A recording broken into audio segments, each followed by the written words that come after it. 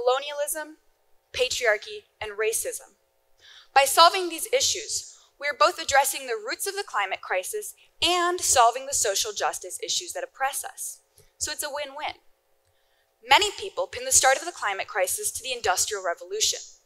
That was when we started digging for coal, mining fossil fuels out of the ground, and burning them. But it actually started long before that. Colonization started the climate crisis and all of the practices it brought. With colonization, European settlers destroyed natural habitats, hunted species to death, and brought in invasive plant species that indigenous and African slaves were forced to grow. With colonialism came the extreme extraction of the earth and the genocide and silencing of the indigenous wisdom of the peoples that have been keeping this earth alive for centuries. With colonialism came the idea that everything on this earth is made for our extraction and that everything is to be bought and sold.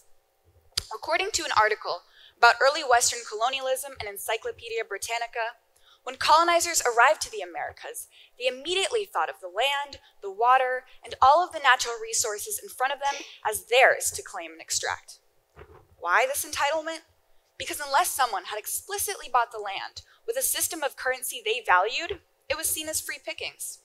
So with colonialism came the idea that nothing, not air, not water, not trees, not animals, not land, was sacred or priceless.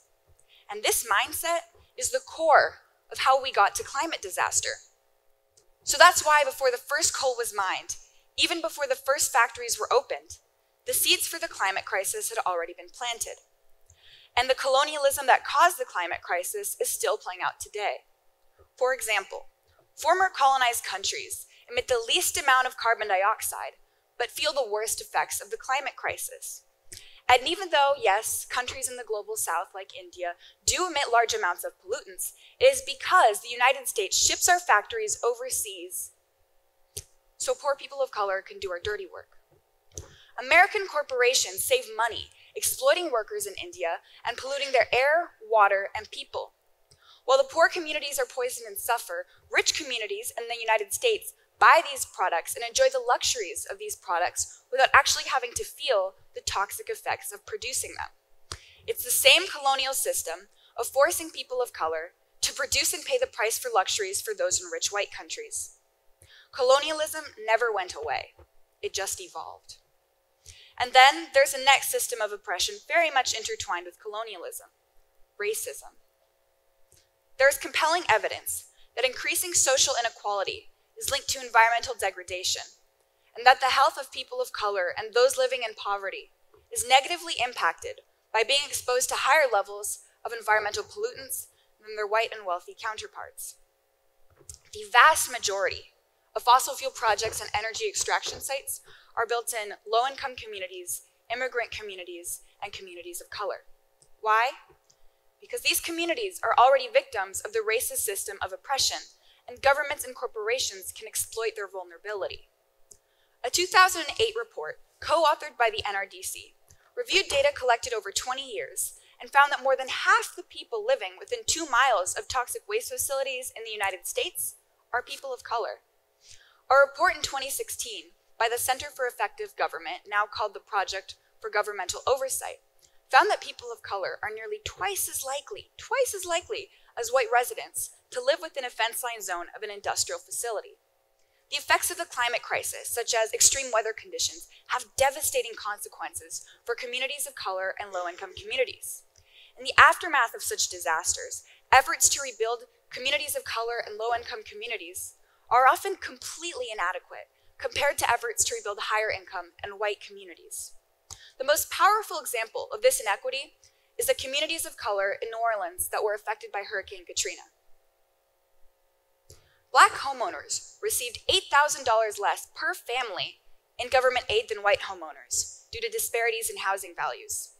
In 2013, about 80% of the mostly black residents of the city's lower ninth ward had not returned to their community due to inadequate recovery and rebuilding efforts by the government. None of these examples are a coincidence. Because people of color and immigrants are already victims of racism, they're more vulnerable to corporations targeting them. Because wealthy white citizens have the money, power, and our current racist system on their side, corporations would not be able to get away with building toxic chemical or extraction plants in those wealthy white neighborhoods.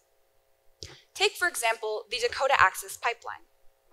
A fossil fuel pipeline designed to transport up to half a million barrels of crude oil daily from North Dakota to Illinois. According to ABC News, the construction of the pipeline was originally going to be built through a majority white and non indigenous community.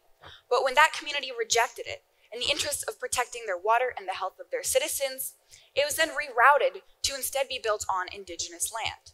And even though there was massive pushback against the construction of this pipeline on the sacred indigenous land, the outcry of the native peoples was ultimately not respected at all, and the pipeline was built anyway on the indigenous land. Prominent activist Reverend Jesse Jackson called the reroute of the Dakota Access Pipeline the ripest case of environmental racism I've seen in a long time. On top of colonialism and racism, there is another system of oppression affecting us patriarchy. Women are more affected by the climate crisis than men. Roles as primary caregivers and providers of food and fuel for our communities make us more vulnerable when flooding and drought occur. According to the BBC, in Central Africa, where up to 90% of Lake Chad has disappeared, nomadic indigenous groups are particularly at risk. As the lake shoreline recedes, women have to walk farther and farther to collect water for their communities. In the dry season, men head off to the towns, leaving women to take care of their communities. With dry seasons now becoming longer and longer due to climate change, women are working harder and harder to feed and care for our families without support and with less and less resources. That's an example of the climate crisis disproportionately affecting women, and women, being victims of patriarchy, having the burden of dealing with the effects of the climate crisis and it falling on our shoulders. And it is not just women in rural areas who are affected. Women are more likely than men to experience poverty and have less socioeconomic power, according to the United Nations.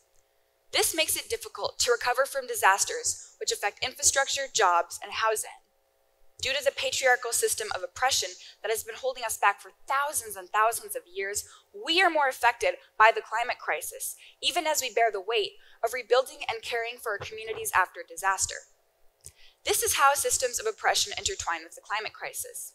People of color, women, poor folks, people with disabilities, people with chronic illnesses, queer people, homeless folks, everyone who is already oppressed, vulnerable, and disadvantaged by society is disproportionately affected by the climate crisis.